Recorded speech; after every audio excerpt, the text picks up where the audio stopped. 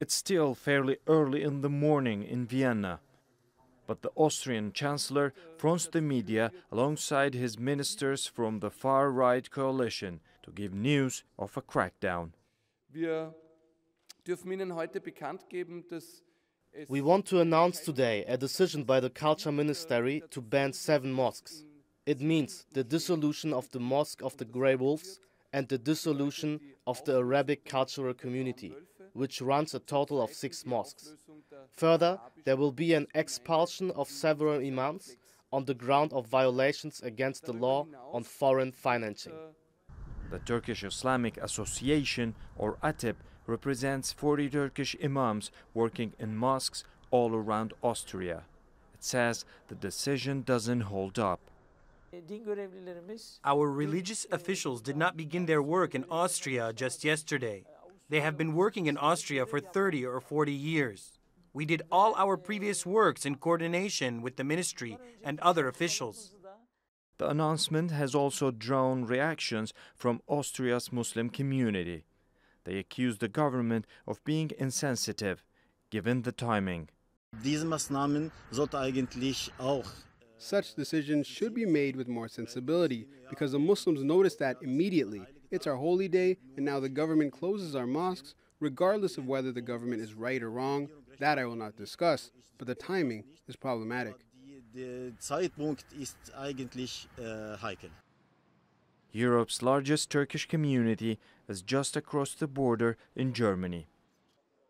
We met the chairman of the Islamic Council of Germany at Berlin's Mevlana Mosque. The mosque is still under restoration following an arson attack in 2014.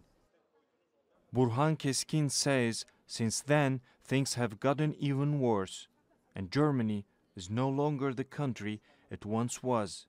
The interesting point is that we now hear from leftist parties the things we used to hear from the right wing. We're coming under more attacks. There were around a thousand attacks on Muslims in 2017 alone, and it's a trend that continues in 2018. And it's not just buildings that have come under attack. Women with headscarves or people with foreign appearances have become targets of harassment and physical abuse.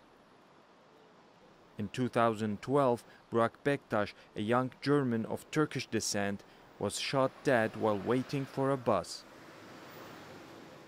The unsolved murder is classified as a hate crime, and there is now a monument standing meters away from the crime scene.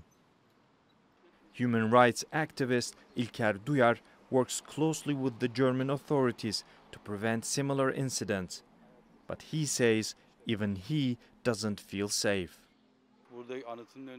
Aside from the death of Burak Bektaş, whose monument we're standing in front of, we're talking about 158 deaths. The investigation is still ongoing. With the rise of far right, increasing xenophobia and Islamophobia, Turks from Austria to Germany say they are fast losing faith in European politicians. Many of them will now vote in Turkey's June presidential elections, and their choice may lie with who they believe will better defend their rights in Europe. Can Hasasu, Strait Talk, Berlin.